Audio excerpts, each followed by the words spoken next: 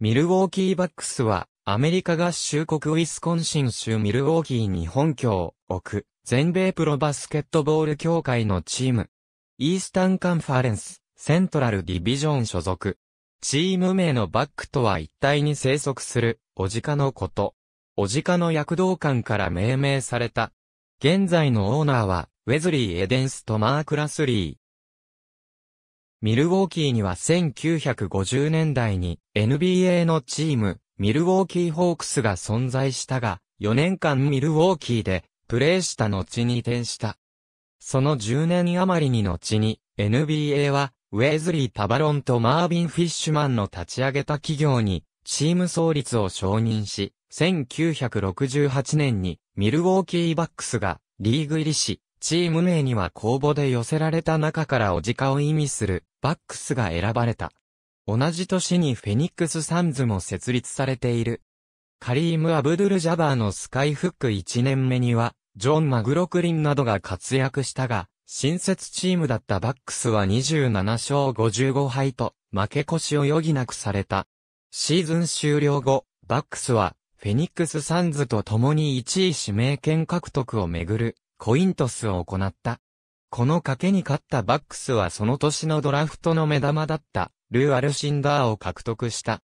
2年後に、カリーム・アブドゥル・ジャバーと改名するアルシンダーは1年目から、チームにインパクトを与え、1969から70シーズンのバックスは56勝26敗と、勝ち数を倍以上に増やした。オスカー・ロバートソンを加えた翌シーズンはさらに躍進し、66勝16敗と、リーグ最高の成績。アブドゥル・ジャバーは MVP を受賞し、バックスはプレーオフを NBA ファイナルまで勝ち進んで、ワシントンブレッツを破り優勝した。新設チームが3年目で優勝するのは、今もリーグ史上最短の記録である。その後もバックスは60勝前後の高い勝率を上げ続け、アブドゥル・ジャバーは2度 MVP を受賞した。1973から74シーズンには再び NBA ファイナルに進出し、ボストンセルティックスと対戦した。シリーズは最終の7戦目までもつれ込み、そのうち第6戦は延長2回まで続く激戦だったが、バックスは3勝4敗で優勝を逃した。ロバートソンが引退した影響で、翌1974から75シーズンは38勝44敗と失速し、シーズン終了後には出身地のニューヨークや大学を過ごしたロサンゼルスでのプレーを望んでいたというアブドゥル・ジャバーもトレードでチームを去った。以降数年間のバックスは勝率5割を前後する中堅どころのチームとして過ごした。この1970年代後半にチームはクイーンバックナー、ブライアン・ウィンターズ、シドニー・モンクリーフ、ボブ・レーニア、テリー・カミングスなどを獲得し、1976年からは、ドンネルソンが監督として指揮を取った。1979から1980シーズンにミッドウェストディビジョンで地区優勝を果たした翌シーズンからイースタンカンファレンスのセントラルディビジョンに移り、さらに6年連続地区優勝を果たした。この間の1981年にはリーグ3位の60勝22敗にまで勝ち星を増やし、以後数シーズンにわたり地区有数のチームだったが、当時の強豪チームである、ボストンセルティックスや、フィラデルフィアセブンティシクサーズの影に隠れがちだった。ジョージ・カール監督1980年代末頃から主力選手の引退などで勝率が下がり始め、1993年には勝ち数30を切った。バックスは1993年に、ビン・ベイカー、1994年の NBA ドラフト医の一番指名のグレン・ロビンソン、1996年には、レイアレンを獲得したがチームは低迷したまま7年間、プレーオフに出場できなかった。1998年に、ジョージ・カール監督を迎えると、ティム・トーマス、サム・キャセールを加えたバックスの成績は浮上し始めた。2001年には52勝30敗にまで復調し、プレーオフでは、イースタンカンファレンス決勝まで進み、第7戦までもつれたが、フィラデルフィアセブンティシクサーズに敗れた。2001から02シーズン開始前にディフェンスを強化するためにアンソニー・メイスンを加入させたが、彼の加入によってチームケミストリーは逆に崩壊してしまい、一時はカンファレンス首位を走っていたが、主要メンバーの怪我やロビンソンとアレンの確執が表面化するなどあり、勝率5割に落ちて、プレーオフ出場を逃した。シーズン終了後、ロビンソンはアトランタホークスに、アレンは2002から03シーズン途中に、シアトルスーパーソニックスに、キャセールは、同シーズン終了後に、ミネソタティンバーウルブズにトレードに出されて、カールヘッドコーチは解任された。2003から04シーズン以後は2000年に、チーム入りしていた、マイケル・レッドが、チームの中心となった。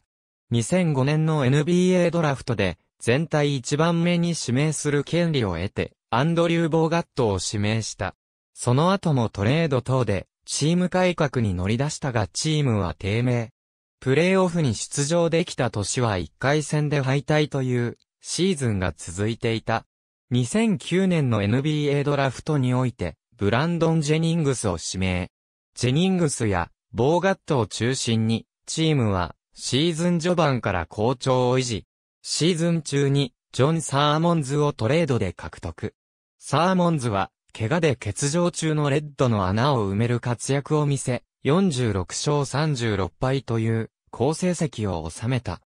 2013から14シーズンは、オフに、ジェニングス、モンタ・エリスを放出し OJ 名誉を獲得したが、補強面での裏目もあり、チーム創設から最低の15勝67敗で終えた。ジェイソン・キッド監督2014年4月16日、長らくオーナーであったハーブ・コールがバックスをニューヨークに基盤を置く資産家、ウェズリー・エデンスとマーク・ラスリー2億5000万ドルで売却することに合意した。新オーナーはチームをミルウォーキーに残し、1億ドルで新アリーナを建設すると見られている。NBA による認可は1ヶ月後の5月16日に降りた。新オーナー陣は、リーグ最低の成績に終わったチームの立て直しに、積極的に動いた。まずは、ブルックリンネッツのヘッドコーチだった、ジェイソン・キッドを、2015年と2019年のドラフト2巡目指名権と引き換えにヘッドコーチ招聘に成功。さらに2014年の NBA ドラフトで、デューク大学のジャバリ・パーカーを指名するなど、体制を整えた。新生バックスは、前シーズンに15勝しか挙げられなかったチームが、11月中に10勝を記録。その後12月16日のフェニックスサンズ戦で、バックス再建の一角を担ってきたジャバリ・パーカーが、左膝の全十字靭帯断裂の重傷を負い、シーズン全休となるアクシデントに見舞われ、さらにラリー・サンダースがトラブルを連発し、怪我人が続出するという戦力が整わない中、ヤニス・アデトクンボ、クリス・ミドルトンら若手選手が奮起し、2015年2月11日のサクラメントキングス戦に勝利し、前シーズンの倍の勝ち星を記録。オールスター戦後は苦しんだが、4月11日のブルックリンネッツ戦の勝利で、2009から10シーズン、以来のシーズン40勝目を挙げ、2年不利のプレーオフ出場を決めた。シカゴブルズとの対戦となった1回戦は、3連敗から2連勝で返したものの、2勝4敗で力尽きた。グレッグ・モンローを獲得し、チーム力強化を図ったはずのバックスだったが、2015から16シーズンは開幕ダッシュに失敗。11月14日のクリーブランドキャバリアーズ戦は、第2オーバータイムの末に108から105で8連勝中だったキャバリアーズに勝利し、さらに12月11日にゴールデンステート、ウォリアーズ戦では、前シーズンの NBA チャンピオンに108から95で勝利し、開幕24連勝中だったウォリアーズの快進撃を止める大金星を上げたものの、結局は波に乗れず、3月にプレーオフ不出場が決定し、33勝49敗と、シーズン当初の期待を大きく裏切る結果に終始した。ヤニス・アデトクンボ2016から17シーズンは、クリス・ミドルトンを開幕から欠く戦いとなったが、ヤニス・アデトクンボが、新エースとして、急成長を遂げ、ルーキーのマルコム・ブログドンもシックスマンとして奮闘。開幕から粘り強い戦いを繰り広げ、2017年1月10日のサンアントニオスパーズ戦では、敵地の AT&T センターで109から107で勝利し、2011から12シーズン以来のスパーズ戦勝利を記録したが、このスパーズ戦以降は低迷に苦しむ。しかし、2月にジャバリ・パーカーが再び左膝の負傷で戦線離脱して以降調子を取り戻し、アデト・クンボは2004年のマイケル・レッド以来の NBA オールスターゲーム出場メンバーに選出。チームは42勝40敗で2009から10シーズン以来の勝率5割以上でシーズンを終了した。プレーオフでは、ファーストラウンドで、トロントラプターズに2勝4敗で屈したが、ソンメーカーが、シーズン終盤から先発に起用されるなど、実りの多いシーズンとなった。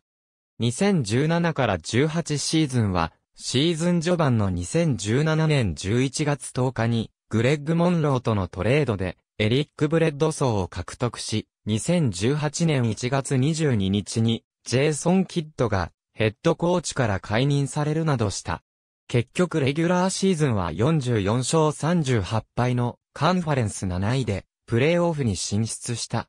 プレーオフではカンファレンス2位のボストンセルティックス相手に最終第7戦で敗れ1回戦敗退となった。マイク・ビューデンホルツァー2018から19シーズンは、本拠地をファイサーブフォーラムに移して始まった。この年から指揮を取るマイク・ビューデンホルツァー HC は、ヤニスのインサイドでの決定力を活かすべく、シューターを多く配置する戦術を取った。ミドルトン、ブレッドソーに加え、3年目のマルコム・ブログドン、新加入のブルック・ロペスが 3P シュートを大投げする新チームは予想以上に機能し、開幕7連勝の後も、順調に勝利を重ねる。手応えを感じたチームはこの年に優勝を勝ち取るべく、シーズン中にも、ジョージ・ヒル、ニコラ・ミロティッチを獲得しさらに戦力を強化した。終盤に一度に連敗を喫したが、それ以外は一度も連敗することなく、この年、リーグ最多勝ちとなる60勝22敗で、プレーオフに進出した。年間60勝は1980から81以来38年ぶりの好成績である。また、この年のオールスターではヤニスがキャプテンに選ばれ、ミドルトンも初出場を飾った。プレーオフに入っても快進撃は続き、デトロイトピストンズを4勝0敗で破り18年ぶりにプレーオフ1回戦を突破した。続くボストンセルティックスとの2回戦では初戦をホームで落とすも、すぐに立て直して4連勝し4勝1敗で勝利、前年のリベンジを果たした。十分に休養を取ったバックスは、トロントラプターズとの決戦に臨む。第1戦はロペスが29得点を挙げ、第2戦はエルサにルヤソバが活躍し、2連勝でスタートする。ロードの第3戦でも終盤に追いつくが、フリースローを多数失敗したのが響き再延長の末に敗北した。ここで流れが完全に切り替わった。勢いを失ったバックスは第4戦に大敗し、ホームの第5戦も落とす。負ければ終わりの第6戦は後半まで優位に立つも、第3クォーター終盤の15点リードを守りきれず、敗れる。結果、2連勝の後に4連敗し、カンファレンスファイナル敗退となった。